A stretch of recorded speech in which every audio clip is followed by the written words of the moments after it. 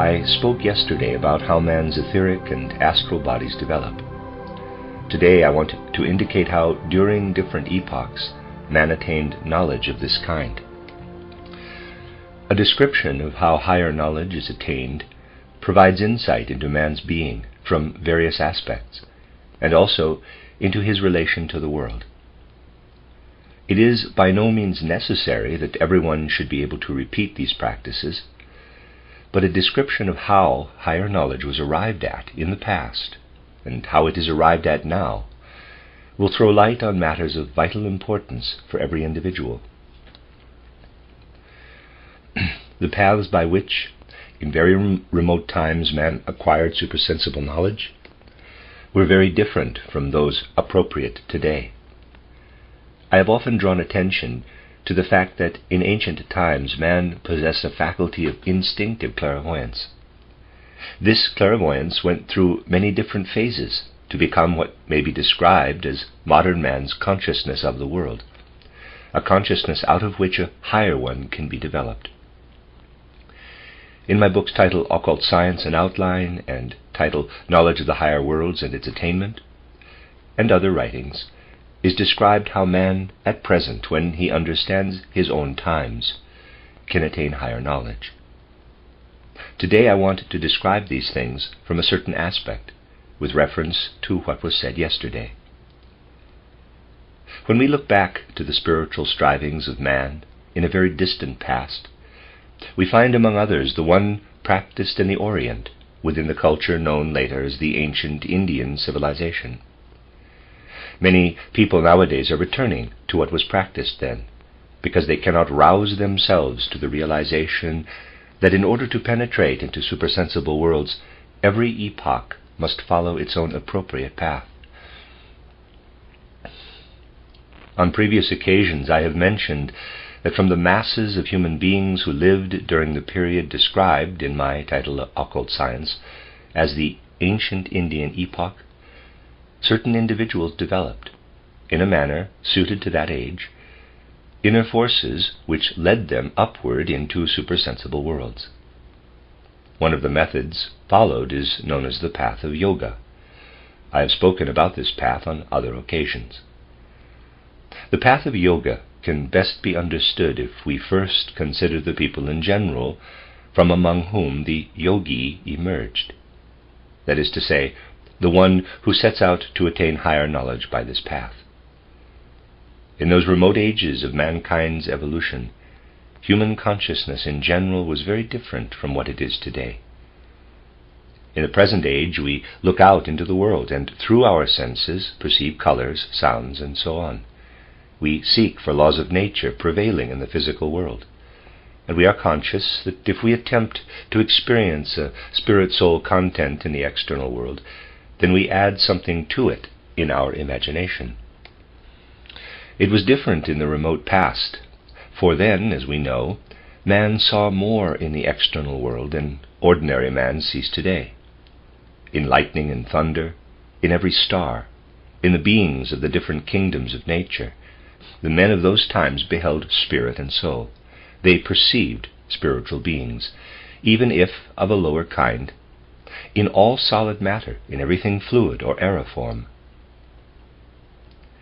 Today's intellectual outlook declares that these men of old, through their fantasy, dreamt all kinds of spiritual and psychical qualities into the world around them.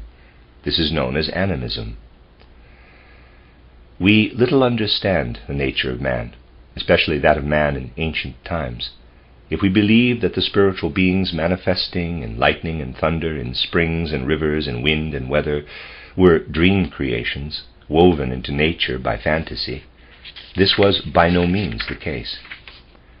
Just as we perceive red or blue and hear C sharp or G, so those men of old beheld realities of spirit and soul in external objects. For them it was as natural to see spirit soul entities as it is for us to see colors and so on.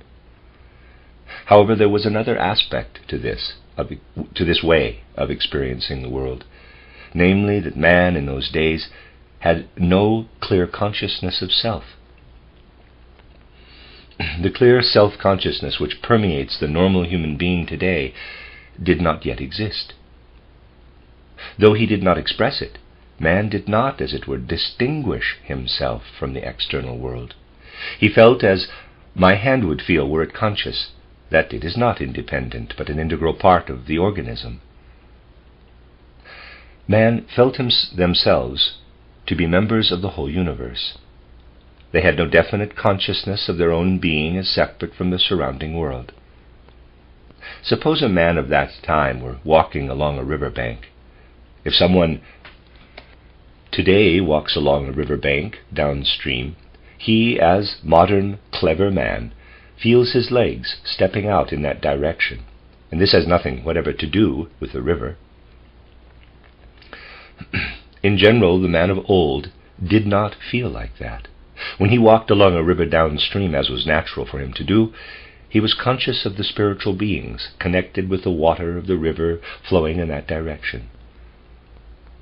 Just as a swimmer today feels himself carried along by the water, that is, by something material, so the man of old felt himself guided downstream by something spiritual.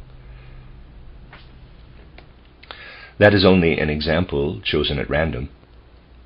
In all his experiences of the external world, man felt himself to be supported and impelled by gods of wind, river, and all surrounding nature. He felt the elements of nature within himself. Today, this feeling of being at one with nature is lost. In its place, man has acquired a strong feeling of his independence, of his individuality, of his individual capital I. the yogi rose above the level of the masses whose experiences were as described. He carried out certain exercises of which I shall speak. These exercises were good and suitable for the nature of humanity in ancient times. They have later fallen into decadence and have mainly been used for harmful ends. I have often referred to these yoga breathing exercises. Therefore, what I am now describing was a method for the attainment of higher worlds that was suitable and right only for man in a very ancient Oriental civilization. In ordinary life, breathing functions unconsciously. We breathe in, hold the breath, and exhale. This becomes a conscious process only if, in some way, we are not in good health. In ordinary life, breathing remains, for the most part, in unconscious, an unconscious process. But during certain periods of his exercises, the yogi transformed his breathing into a conscious inner experience. This he did by timing the inhaling, holding, and exhaling of the breath differently, and so altered the whole rhythm of the normal breathing. In this way, the breathing process became conscious. The yogi projected himself, as it were, into his breathing.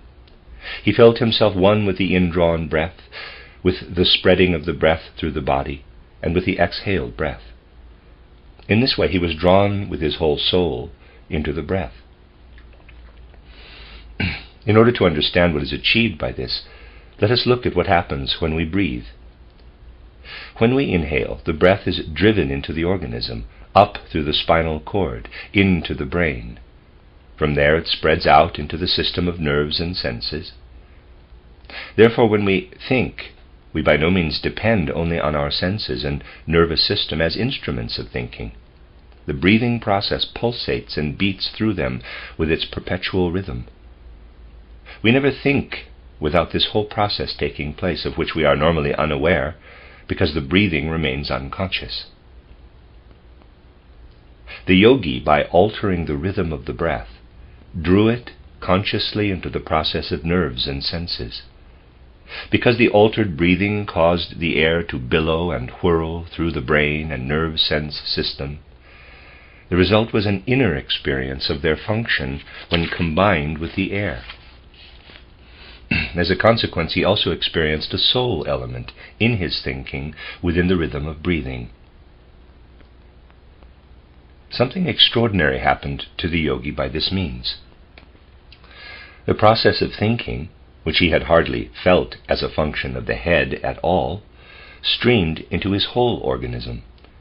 He did not merely think, but felt the thought as a little live creature that ran through the whole process of breathing which he had artificially induced. Thus, the yogi did not feel thinking to be merely a shadowy logical process. He rather felt how thinking followed the breath. When he inhaled, he felt he was taking something from the external world into himself, which he then let flow with the breath into his thinking. With his thoughts he took hold, as it were, of that which he had inhaled with the air and spread through his whole organism. The result of this was that there arose in the yogi an enhanced feeling of his own I, an intensified feeling of self. He felt his thinking pervading his whole being. This made him aware of his thinking, particularly in the rhythmic air current within him. This had a very definite effect upon the yogi. when man today is aware of himself within the physical world, he quite rightly does not pay attention to his thinking as such. His senses inform him about the external world, and when he looks back upon himself, he perceives at least a portion of his own being. This gives him a picture of how man is placed within the world between birth and death. The yogi radiated the ensouled thoughts into the breath. This soul filled thinking pulsated through his inner being with the result that there arose in him an enhanced feeling of selfhood. But in this experience, he did not feel himself living between birth and death in the physical world surrounded by nature. He felt carried back in memory to the time before he descended to the earth. That is, to the time when he was a spiritual soul being in a spiritual soul world. In normal consciousness today, man can reawaken experiences of the past. He may, for instance, have a vivid recollection of some event that took place ten years ago in a wood, perhaps. He distinctly remembers all the details, the whole mood and setting. In just the same way did the yogi, through his changed breathing, feel himself drawn back into the wood and atmosphere, into the whole setting of a spiritual soul world, in which he had been as a spiritual soul being. There he felt quite differently about the world than he felt in his normal consciousness. The result of the changed relationship of the now awakened selfhood to the whole universe gave rise to the wonderful poems of which the Bhagavad Gita is a beautiful example. In the Bhagavad Gita, we read wonderful descriptions of how the human soul, immersed in the phenomena of nature, partakes of every secret, steeping itself in the mysteries of the world. These descriptions are all reproductions of memories called up by means of yoga breathing of the soul when it was as yet only soul and lived within a spiritual universe. In order to read the ancient writings, such as the Bhagavad Gita, with understanding, one must be conscious of what speaks through them. The soul, with enhanced feeling of selfhood, is transported into its past in the spiritual world, and is relating what Krishna and other ancient initiates had experienced there through their heightened self consciousness. Thus it can be said that those sages of old rose to a higher level of consciousness than that of the masses of people. The initiates strictly isolated the quote-unquote self from the external world. This came about not for any egoistical reason, but as a result of the changed process of breathing, in which the soul, as it were, dove down into the rhythm of the inner air current. By this method a path into the spiritual world was sought in ancient times. Later this path underwent modifications. In very ancient times the yogi felt how in the transformed breathing his thoughts were submerged in the currents of breath, running through them like little snakes. He felt himself to be part of a weaving cosmic life, and this feeling expressed itself in certain words and sayings. It was noticeable that one spoke differently when these experiences were revealed through speech. What I have described was gradually felt less intensely within the breath. It no longer remained within the breathing process itself. Rather were the words breathed out and formed of themselves rhythmic speech. Thus the changed breathing led through the words carried by the breath to the creation of mantrams, whereas formerly the process and experience of breathing was the most essential. Now these poetic sayings assumed primary importance. They passed over into tradition, into the historical consciousness of man, and subsequently gave birth later to rhythm, meter, and so on in poetry. The basic laws of speech, which are to be seen, for instance, in the pentameter and hexameter as used in ancient Greece, point back to what had once, long before, been an experience of the breathing process. An experience which transported man from the world in which he was living between birth and death into a world of spirit and soul. This is not the path modern man should seek into the spiritual world. He must rise into higher worlds, not by the detour of the breath, but along the more inward path of thinking itself. The right path for man today is to transform in meditation and concentration the otherwise merely logical connection between thoughts into something of a musical nature. Meditation today is to begin always with an experience in thought, an experience of the transition from one thought into another, from one mental picture into another. While the yogi in ancient India passed from one kind of breathing into another, man today must attempt to project himself into a living experience of, for example, the color red. Thus he remains within the realm of thought, he must then do the same with blue and experience the rhythm red, blue, blue, red, red, blue, and so on, which is a thought rhythm. But it is not a rhythm which can be found in a logical thought sequence. It is a thinking that is much more alive. if one perseveres for a sufficiently long time with exercises of this kind, the yogi too was obliged to carry out his exercises for a very long time and really experiences the inner qualitative change and the swing and rhythm of red blue, blue red, light dark, dark light. In short, if indications, such as those given in my book titled Knowledge of the Higher Worlds, are followed, the exact opposite is achieved to that of a yogi in ancient times. He blended thinking with breathing, thus turning the two processes into one.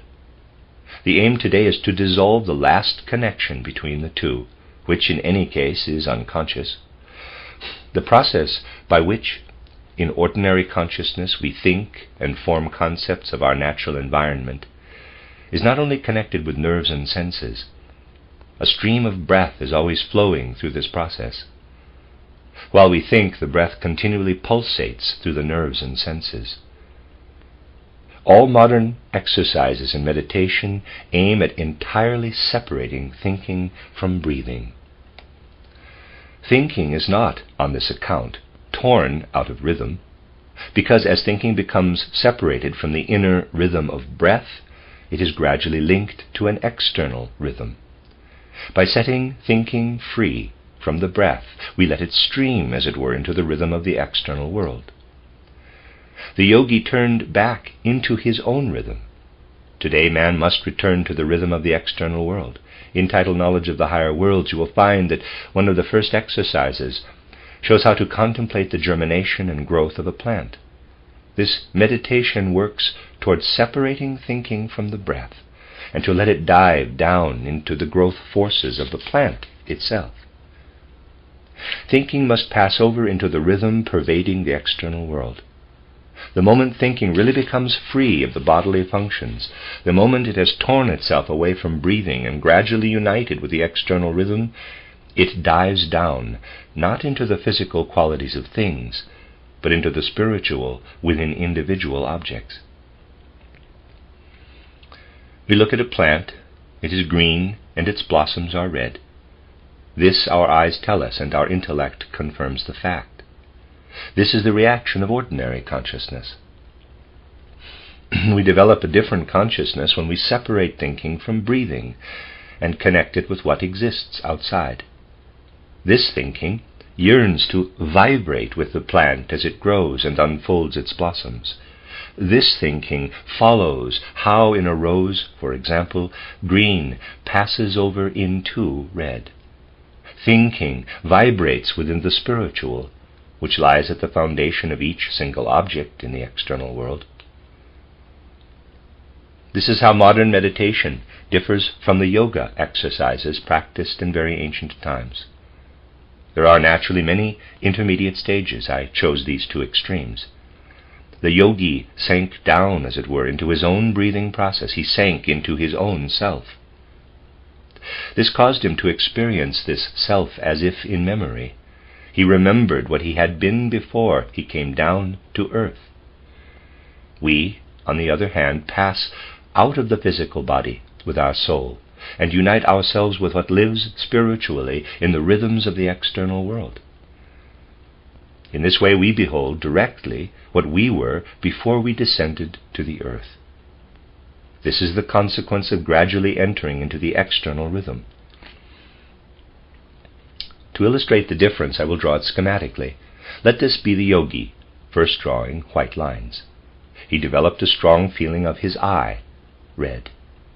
This enabled him to remember what he was within a soul's spiritual environment before he descended to earth, blue.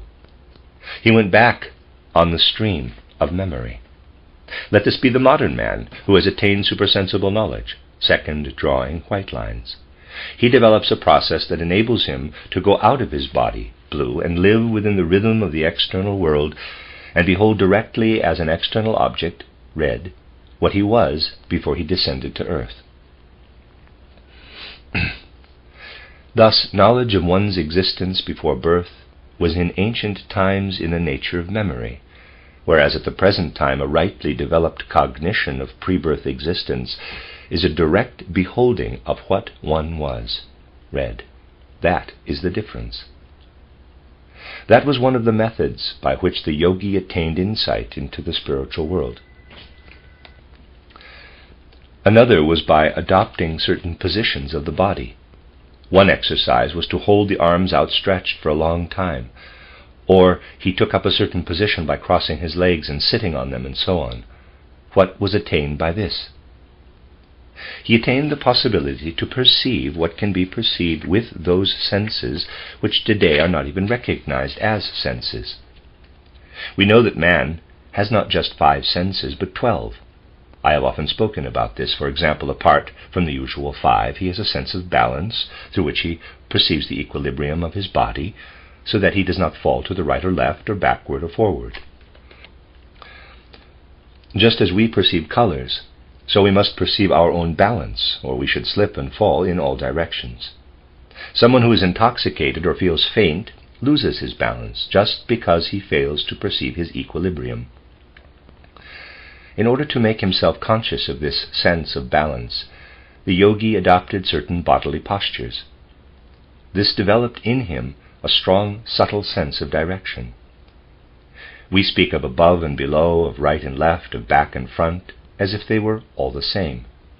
The yogi became intensely conscious of their differences by keeping his body for lengthy periods in certain postures. In this way, he developed a subtle awareness of the other senses of which I have spoken. When these are experienced, they are found to have a much more spiritual character than the five familiar senses. Through them, the yogi attained perception of the directions of space. This faculty must be regained, but along a different path. For reasons which I will explain more fully on another occasion, the old yoga exercises are unsuitable today. However, we can attain an experience of the qualitative differences within the directions of space by undertaking such exercises in thinking as I have described.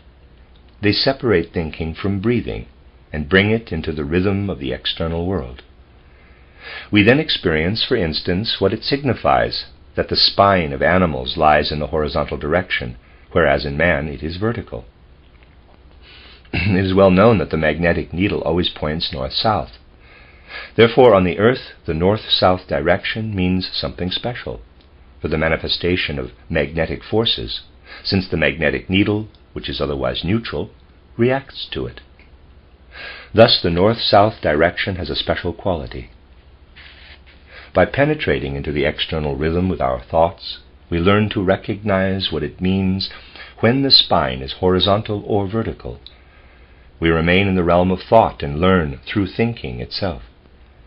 The Indian yogi learned it too, but by crossing his legs and sitting on them, and by keeping his arms raised for a long time. Thus he learned from the bodily postures the significance of the invisible directions of space. Space is not haphazard, but organized in such a way that the various directions have different values. The exercises that have been described which lead man into higher worlds are mainly exercises in the realm of thought. There are exercises of an opposite kind. Among them are the various methods employed in asceticism. One such method is the suppression of the normal function of the physical body through inflicting pain and all kinds of deprivations. It is practically impossible for modern man to form an adequate idea of the extremes to which such exercises were carried by ascetics in former times. Modern man prefers to be as firmly as possible within his physical body. But whenever the ascetic suppressed some function of the body by means of physical pain, his spirit soul nature drew out of his organism. In normal life, the soul and spirit of man are connected with the physical organism between birth and death, in accordance with the human organization as a whole. When the bodily functions are suppressed through ascetic practices, something occurs which is similar to when today someone sustains an injury. When one knows how modern man generally relax, re- reacts to some slight hurt, then it is clear that there is a great difference between that and what the ascetic endured just to make his soul organism free. The ascetic experienced the spiritual world with the soul organism that had been driven out through such practices. Nearly all of the earlier great religious revelations originated in this way. Those concerned with modern religious life make light of these things they declare the great religious revelations to be poetic fiction, maintaining that whatever insight man acquires should not cause pain. The seekers of religious truths in former times did not take this view. They were quite clear about the fact that when man is completely bound up with his organism, as of necessity he must be for his earthly tasks, the gain was not to portray unworldliness as an ideal, then he cannot have spiritual experiences. the ascetics in former times sought spiritual experiences by suppressing bodily life and even inflicting pain. Whenever pain drove out spirit and soul from a bodily member, that part which was driven out experienced the spiritual world. The great religions have not been attained without pain, but rather through great suffering. These fruits of human strivings are today accepted through faith. Faith and knowledge are neatly separated. Knowledge of the external world in the form of natural science is acquired through the head. As the head has a thick skull, this causes no pain, especially as this knowledge it consists of extremely abstract concepts. On the other hand, those concepts handed down as venerable traditions are accepted simply through faith. It must be said, though, that basically knowledge and faith have in common the fact that today one is willing to accept only knowledge that can be acquired painlessly. And faith does not hurt any more than science, though its knowledge was originally attained through great pain and suffering. Despite all that has been said, the way of the ascetic cannot be the way for present day man. On some other occasion we will consider the reason in our time, it is perfectly possible, through inner self discipline and training of the will, to take in hand one's development, which is otherwise left to education and the experiences of life. One's personality can be strengthened by training the will. One can, for example, say to oneself, Within five years I shall acquire a new habit, and during that time I shall concentrate my whole will power upon achieving it. When the will is trained in this way for the sake of inner perfection, then one loosens, without ascetic practices, the soul spiritual from the bodily nature. The first discovery, when such training of the will is undertaken for the sake of self improvement, is that a continuous effort is needed. Every day something must be achieved inwardly. Often it is only a slight accomplishment, but it must be pursued with iron determination and unwavering will. It is often the case that if, for example, such an exercise as concentration each morning upon a certain thought is recommended, people will embark upon it with burning enthusiasm. But it does not last. The will slackens and the exercise becomes mechanical, because the strong energy which is increasingly required is not forthcoming. The first resistance to be overcome is one's own lethargy. Then comes the other resistance, which is of an objective nature, and it is as if one had to fight one's way through a dense thicket. After that, one reaches the experience that hurts because thinking, which has gradually become strong and alive, has found its way into the rhythm of the external world and begins to perceive the direction of space. In fact, perceive what is alive. One discovers that higher knowledge is attainable only through pain. I can well picture people today who want to embark upon the path leading to higher worlds. They make a start, and the first delicate spiritual cognition appears. This causes pain, so they say they are ill. When something causes pain, one must be ill. However, the attainment of higher knowledge will often be accompanied by great pain yet one is not ill. No doubt it is more comfortable to seek a cure than continue the path. Attempts must be made to overcome this pain of the soul, which becomes ever greater as one advances. While it is easier to have something prescribed than continue the exercises, no higher knowledge is attained that way. Provided the body is robust and fit for dealing with external life, as is normally the case at the present time, this immersion in pain and suffering becomes purely an inner soul path in which the body does not participate. When man allows knowledge to approach him in this way, then the pain he endures signifies that he is attaining those regions of spiritual life out of which the great religions were born.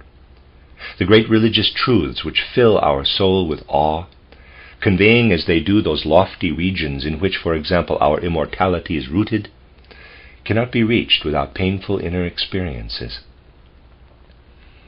Once attained, these truths can be passed on to the general consciousness of mankind. Nowadays they are opposed simply because people sense that they are not as easy to attain as they would like. I spoke yesterday about how the changed astral body unites within the heart with the ether body I also explained how all our actions, even those we cause others to carry out, are inscribed there. Just think how oppressive such a thought would be to many people. The great truths do indeed demand an inner courage of soul which enables it to say to itself, If you could experience these things, you must be prepared to attain knowledge of them through deprivation and suffering. I am not saying this to discourage anyone but because it is the truth. It may be discouraging for many, but what good would it do to tell people that they can enter higher worlds in perfect comfort when it is not the case? The attainment of higher worlds demands the overcoming of suffering. I've tried today, my dear friends, to describe to you how it is possible to advance to man's true being. The human soul and spirit lie deeply hidden within him and must be attained. Even if someone does not set out himself on that conquest, he must know about what lies hidden within him. He must know about such things as those described yesterday and how they run their course. This knowledge is a demand of our age. These things can be discovered only along such paths as those I have indicated again today, by describing how they were trodden in former times, and how they must be trodden now. Tomorrow we shall link together the considerations of yesterday and those of today, and in so doing penetrate further into the spiritual world.